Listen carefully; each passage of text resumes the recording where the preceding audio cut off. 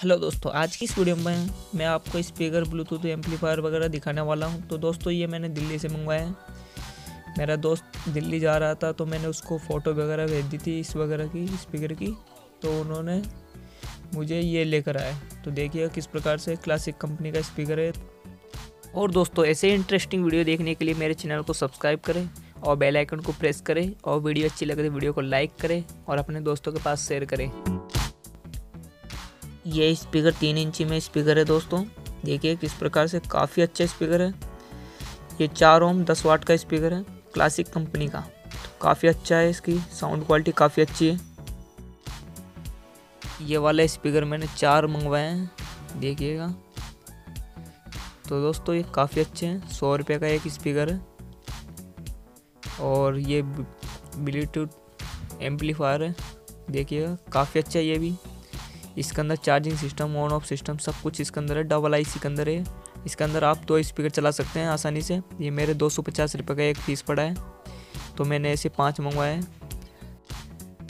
और दोस्तों, अभी तक आपने वीडियो को लाइक नहीं की तो वीडियो को लाइक करें ज़रूर दोस्तों।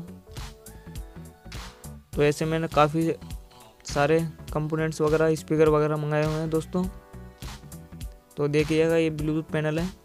काफ़ी अच्छा है ये भी, इसकी रेंज काफ़ी अच्छी है। तो ये मेरे एक सौ अस्सी रुपये का एक फ़ीस पड़ा हुआ है। तो मैंने इसे तीन फ़ीस ऑर्डर किए हैं। देखिएगा कि किस प्रकार से है।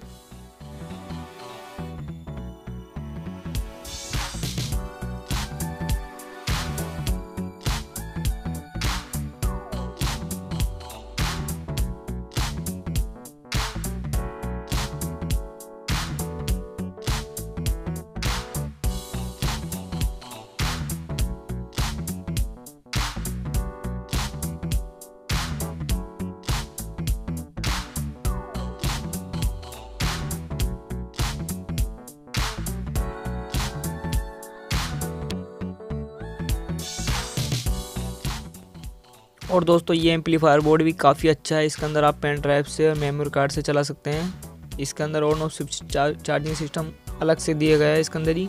तो ये भी काफ़ी अच्छा बोर्ड है। इसके अंदर भी क्लियर आवाज़ आती है। तो दोस्तों, ये मेरे एक सौ का एक पीस पड़ा है। तो मैंने ऐसे पाँच पीस ऑर्डर किए हैं। ये टी जी एक सौ तेरह का एम्पलीफायर बोर्ड है दोस्तों। ये भी काफ़ी अच्छा है सिंगल आईसी में। तो ये मेरे एक सौ पचास रुपये का एक पड़ा हुआ था मेरा। ये पावर बैंक मॉड्यूल है, जो कि एक एम्पेयर में काफ़ी अच्छा है ये भी। तो ये मेरे सत्तर रुपये का एक पीस पड़ा है मुझे।